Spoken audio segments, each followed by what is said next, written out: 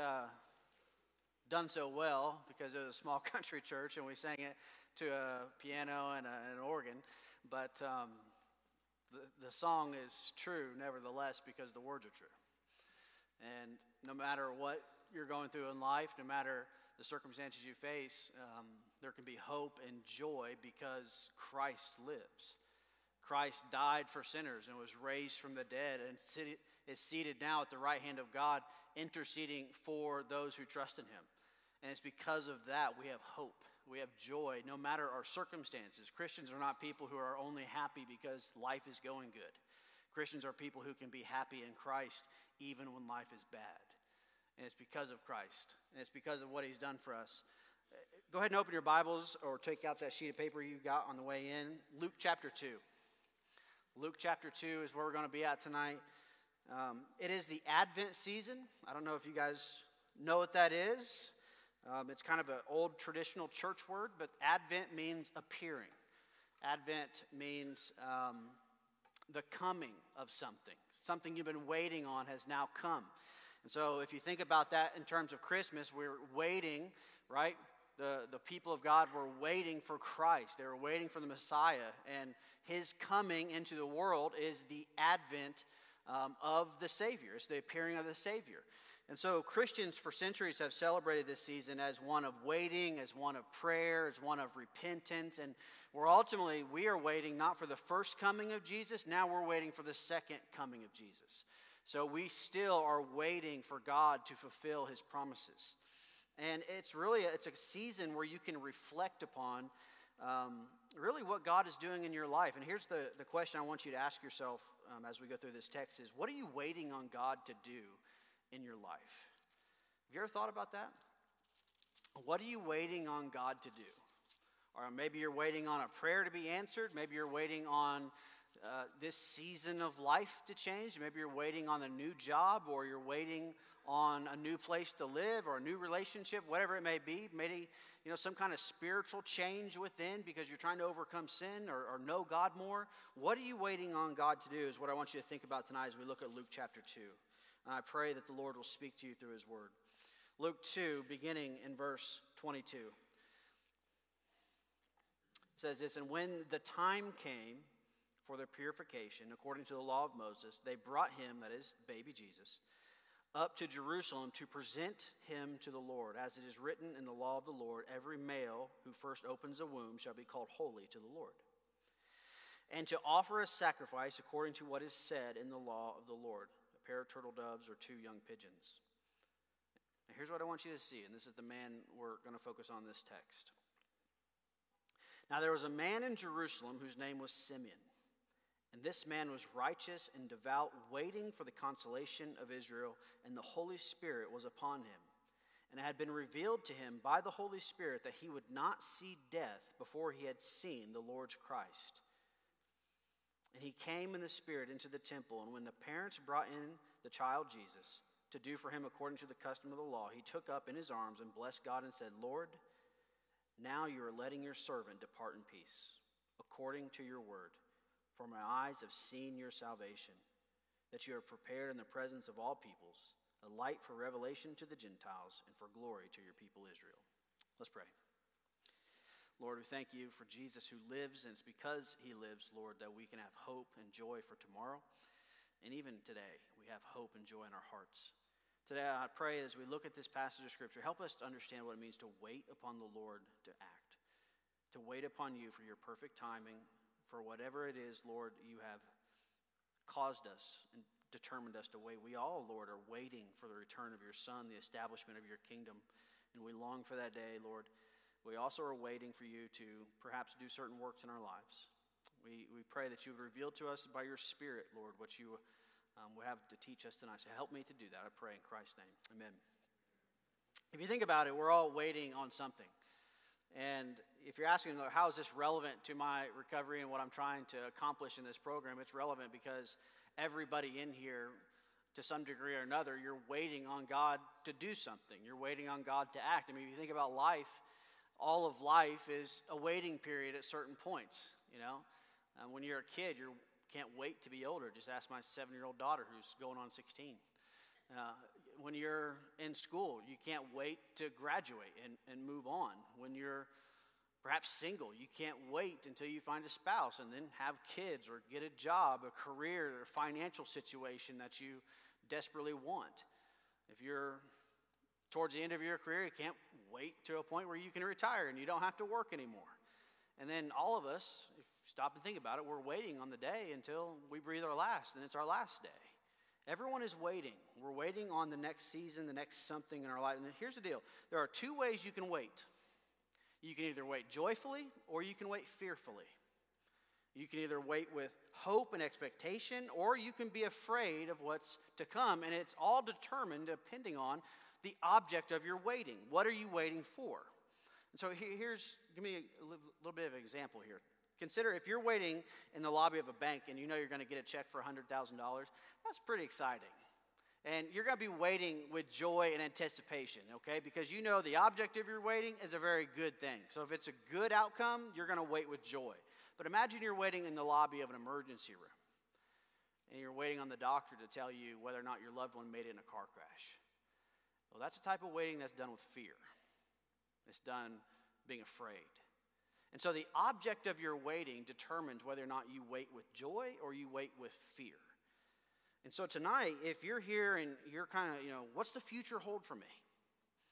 What's the next step? What's the next season of life going to look like for me? If you are not following and trusting Christ and, and trusting your life to Christ, then your waiting is a season of fear. And it's a season of uncertainty because you don't know what the future holds. But if you're here tonight and you have entrusted yourself to the Lord, then you can wait with joy because yet same with the other group. You might not know what the future holds, but you know the one who holds the future. And there's a big difference. And so you can either wait for God to act and move you into whatever next season you're hoping to move into with joy, or you can do it without faith and do it with fear. And what I want you to get in your minds tonight is that those who wait on the Lord are blessed. Those who wait in faith for God to act are blessed. The context of our passage tonight is the birth of Christ. I don't know if you realize that. Luke chapter 2, Jesus has just been born in Bethlehem. All right, this is the Christmas season, so it's appropriate for us to talk about this. Jesus has just been born. The angels of God appeared and they began singing glory to God in the highest. Actually, you see that in verse 13. After the Son of God appears, the, the angels of God worship his Son. It says, Suddenly there was with the angel a multitude of heavenly hosts, praising God and saying, Glory to God in the highest, and on earth peace among those with whom he is pleased. This is the night the people of God have been waiting on for centuries. They have been waiting for the appearing of their Savior, and now it has come. And now that these come, it brings us to this passage where there's a man in the temple who's particularly been waiting on this day because God told him through the Holy Spirit he would not die until he saw the Messiah. I mean, that's an incredible promise. So he's been waiting for the day that the Christ would appear, that the Son of God would appear, because he knew he would not taste death until that day came. So it brings us to verse 22. Mary and Joseph bring the boy Jesus, the baby Jesus, to the temple. And it says, when the time had come for their purification, according to the law of Moses, they brought him up to Jerusalem to present him to the Lord. And they're, they're going there according to the law. So, according to Jewish law, Mary, she had to go and, and offer sacrifices for purification. Anytime a woman in Israel had a child, they had to offer sacrifices as a reminder of sin and uncleanliness. They also had to offer their son to the Lord, a dedication. Now, not, not offer like a sacrifice, but dedicate them. This morning we had child, children dedicated to the Lord here in our church. We had uh, up on this stage dozens of men and women and their children, and they dedicated their children to the Lord, saying, We will raise our children in the Lord. And in Israel, your firstborn had to be dedicated to the Lord. It's holy. And that's what they're doing here.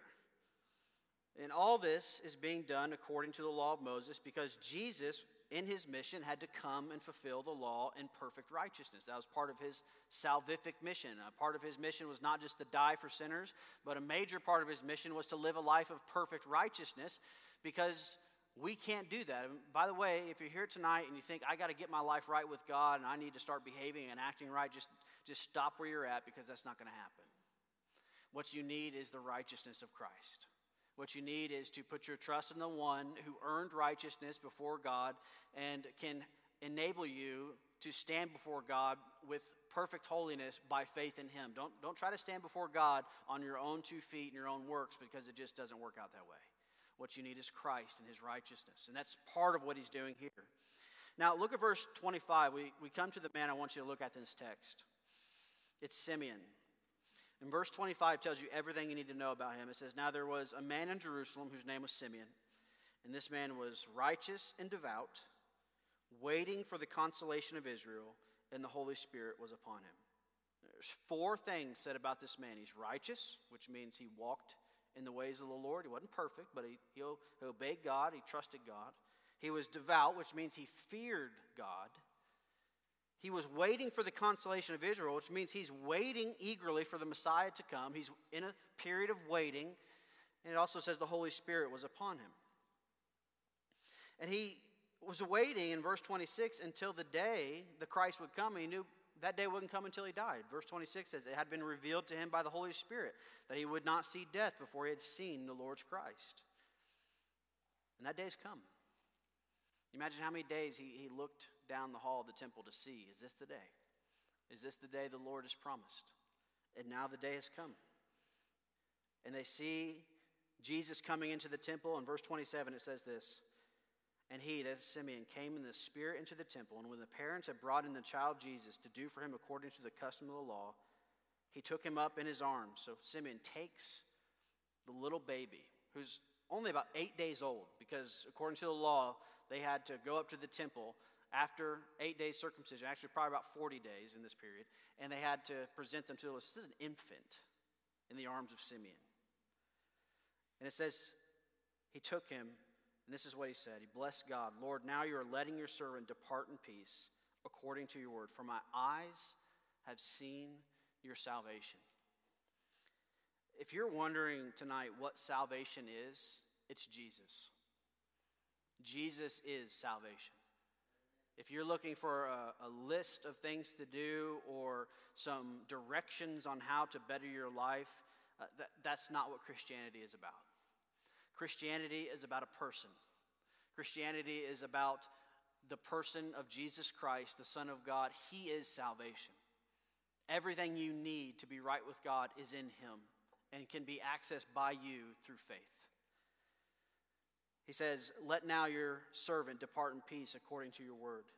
For my eyes have seen your salvation that you have prepared in the presence of all peoples, a light for the revelation to the Gentiles and for glory to your people Israel. After all this waiting, God had fulfilled his promise. And so, for the remainder of our time, I just want to take a few moments with you and talk about exactly what does it mean to wait upon the Lord? What does that mean to wait upon the Lord? How do we wait upon the Lord? And, and then, really, why should we wait upon the Lord? Am I supposed to just uh, thinking about what does it mean to wait upon God? Am I just supposed to sit in my hands and do nothing? I mean, I'm waiting on God to, to act in my life, to change things for me. Am I just supposed to sit around and do nothing? Well, no, that's not how the people of God have waited upon the Lord throughout all of redemptive history. Waiting upon God is waiting in hope that God will act in your life. That's what it means to wait upon God. I mean, going all the way back to the garden, when the man and woman first sinned, God promised, after he cursed them and judged them, he promised he was going to send one to crush the head of the serpent. And for all of redemptive history, up to the day that the Christ was born, the people of God were waiting for the serpent crusher. They were waiting for the one who would crush the head of Satan. You think about Abraham and Sarah. When God came to Abraham and said, You're going to have a son and many descendants, you know how many years it was until he finally had Isaac? 25 years. He was waiting for God to fulfill his promise. David was told that there would be a descendant who sat upon his throne for all eternity, and David never saw that descendant.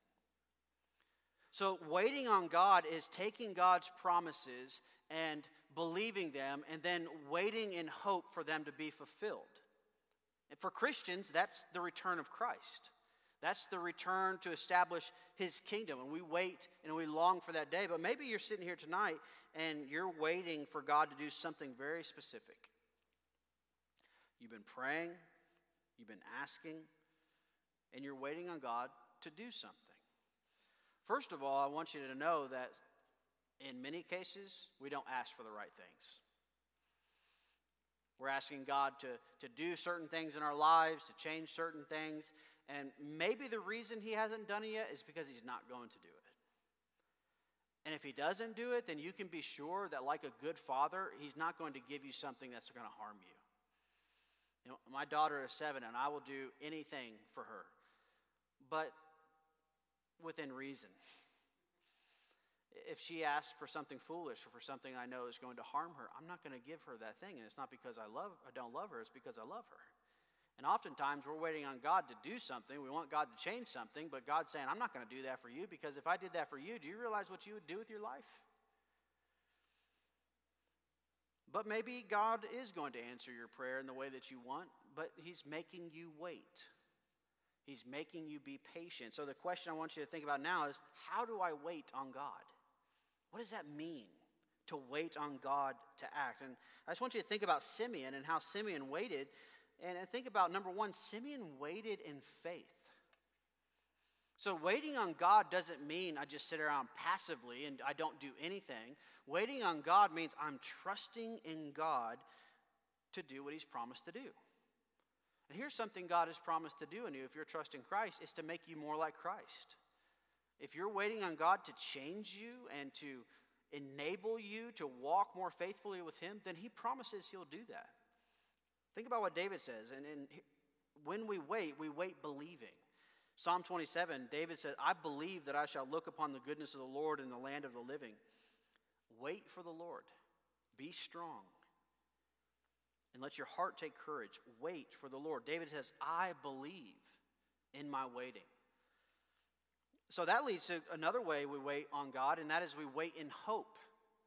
So if you're waiting in faith, then faith will actually give birth to hope. And hope is the confidence that we have in God that God will act. It's waiting in faith. And so eh, if I tell my daughter that I'm going to, after school, we're going to go, and I was talking to her about this earlier, I'm going to pick you up, we're going to go to the park, we're going to get ice cream. And so she waits, and she knows her daddy's going to make good on that promise because in, when it's according to my power, I don't break my word to her. And so she waits knowing I'm going to do for her exactly what I said. And you know she, how she waits? She waits hopefully.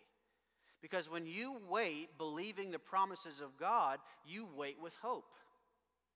And so maybe you're waiting for a day when there'll be no more pain and suffering, there'll be no death, disease, because you have experienced so much tragedy in your life, and you're waiting for a day when all that will be made right and be made new. You can wait with hope, knowing Christ is going to return to do that. Maybe you have been wronged in this life. Maybe people have sinned against you grievously. God doesn't promise that righteousness and, and justice will occur in this life, but He does promise that when He returns, vengeance will be His. And you can wait with hope, knowing that whatever's been done to you that's been wronged, He will make right. And so we wait believing those promises. That means we can wait with hope. But we also have to wait patiently because God acts on His timing and not our own. I know that when we ask God to do something, we want it done yesterday. We want what we want when we want it, right? That's just how we are. I pray, and I think God should answer my prayer immediately. And you think about Simeon, God did not act in Simeon's time, He acted in his time. And here's the thing, and here's what you need to remember God is never early, and God is never late. God is always on time. His times are perfect. If He was to give it to you too early, it would not be as beneficial for you, and He's never going to delay and make you wait longer than He intended. His time is perfect, but you have to be patient to wait on God. Which means while you're waiting, you not only wait prayerfully, you wait hopefully, you wait patiently. You know what you can do? You can wait prayerfully. Seek the Lord. While you're waiting on God to act in your life, don't just sit on your hands. Pray and seek God. Listen to what Micah said. Micah 7 7. He says, But as for me, I will look to the Lord. I will wait for the God of my salvation. My God will hear me. While we wait, we pray. And here's a final thing I want you to think about. While you wait, you serve Him. And this is going to be really hard for you to hear. This was hard for me to write this. As I was writing this very next thing I'm getting ready to tell you, it convicted me. While you wait on God, you serve Him in the station of life in which He has you, even if that station is the one that you're wanting to be delivered from. God, I'm ready to be done in this phase in life. And He says, I want you to wait patiently. And you know what you need to do? Serve me in that spot that you want to be done with. Serve me there. And maybe God wants to see if you'll be faithful where you're at before He brings you to the next spot. Because why would He bring you into the next season of life that you desire if you're not going to be faithful where you are? Prayerfully, hopefully, patiently, and faithfully. And if you do that, there are many benefits to waiting on God. The scripture has lots of promises for people who will wait on God in faith. Number one, God will renew your strength. Isaiah 40, verse 30 says, Even youths shall faint and be weary, and young men shall fall exhausted. But listen to this But they who wait for the Lord shall renew their strength. They shall mount up with wings like eagles. They shall run and not be weary. They shall walk and not be faint. So sometimes we can grow weary while we're waiting on God. I'm growing impatient, but I'm also growing tired. But those who wait on the Lord with hope and faith and prayer, He will give you new strength. And sometimes that strength comes in the form of contentment and joy and peace, even in the season of life you're wanting to be done with. And that brings the second thing he brings is tranquility or, or peace. Oftentimes we wait anxiously. You know, if you're waiting on someone to show up somewhere and you're looking at the watch and you're wondering why aren't they here yet, you start to have some anxiety. Are we going to be late? And sometimes we're waiting on God, we can do so with anxiety. Psalm 37 reminds us to rest in the Lord and wait patiently for Him. So the one you're waiting on to act is actually the one you go to for rest. The one you're waiting on to intervene in your life, you go to Him for your peace while you wait. And while you wait, he promises blessings. Isaiah 30 says, Those or therefore the Lord waits to be gracious to you. Therefore he exalts himself to show mercy to you. For the Lord is a God of justice. Blessed. Blessed are all who wait for him. You want to be blessed by God? Wait on him to act. Wait on God to act. Lamentations 3 says that the Lord is good to those who wait for him, to the soul who seeks him. It is good that one should wait quietly for the salvation of the Lord. Now, listen, I say all this, and it sounds good on paper, it sounds good in a sermon, but I know that it's hard.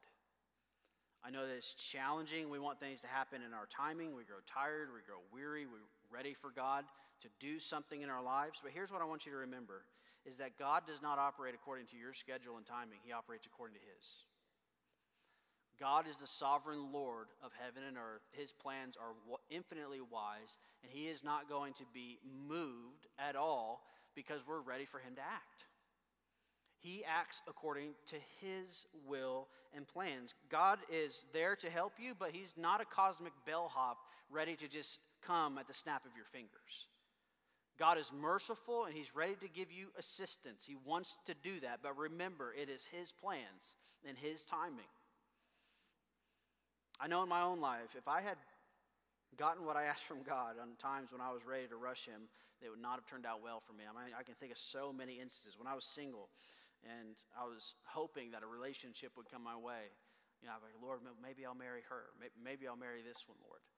And I was hoping that a woman would come into my life, and I was praying for that. And I'm so glad that God didn't give me what I was asking for because then I wouldn't have my wife. When I was ready for a career to start, I wanted to go into law enforcement. That was always my dream. And I applied to be into law enforcement, and I got denied. And I was crushed. And I'm so glad God crushed my dreams and timings because then He rerouted me into Bible college and ministry, and that's what God has called me to do. For five years, my wife and I, we wanted a child. We were ready to be parents, and we couldn't get pregnant. And so we tried to go into foster care and adoption, and God didn't allow those things to happen. And I'm so glad He made us wait because now we have a daughter that we absolutely cherish. At my last church, there were several weeks when I'd have a, rough week and I'd look for other ministry positions. And it always worked out where when I was ready to leave, there was nothing being offered, and when there was things being offered, I wasn't ready to leave. And I'm so glad that none of it ever worked out because I might not have the job I have now, which I absolutely love. Waiting on God is not always easy, but it is in our best interest. Because if God were to give you what you wanted every single time, you would make a train wreck of your life. It's guaranteed. And God works not only in His timing, but in His ways. He might not give you what you want, but He will give you what you need.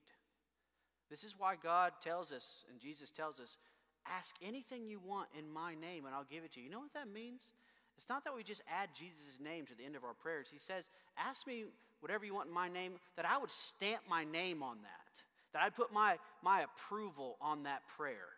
You know, if you're asking for God to, to make you a millionaire next week, I don't know if Jesus is going to put his name on that. But Jesus says, if you pray according to my will, I'll do whatever you ask. But that includes waiting on God. And that includes trusting God. It includes believing, you know what? He, he's a good father in heaven. And I don't know all of his plans, but I know he's going to take care of me. We wait for God, and that's how the people of God for, for centuries, and they're still doing it today, have waited on God. From the time in the garden to today, the people of God have always waited on the Lord to act in his timing. And when we wait, we wait with hope. We wait with joy. And one day, all of our waiting, no matter what your circumstances are, what you're waiting on right now, all of your waiting will be over. Because Christ is going to make a new heavens and a new earth. And friends, that's the most important thing you should be waiting for. We talk about all these earthly things, and listen, jobs and, and living situations, financial situations, relationships, whatever it may be that you want to change, all that is very important. But there's nothing more important than making sure that your life is right with God. And really, what are you really wanting God to do in your life? Are you wanting God to act in your life so that you can get what you want? Are you wanting God to act in your life so that you can live more closely according to His will and His plans? And is your ultimate waiting just a better life? Or your ultimate waiting to be with Christ? That's what the people of God wait for. Is for the appearing of the Son. He already came once and he came as a lowly baby in a manger. That's not how he's going to come the next time. He's going to appear in the clouds with great glory and power, and he's going to come for two reasons. One, the salvation of his people, for those who love and trust him, he is going to take them to be with himself. But he's also coming for another reason, and that is the judgment of his enemies.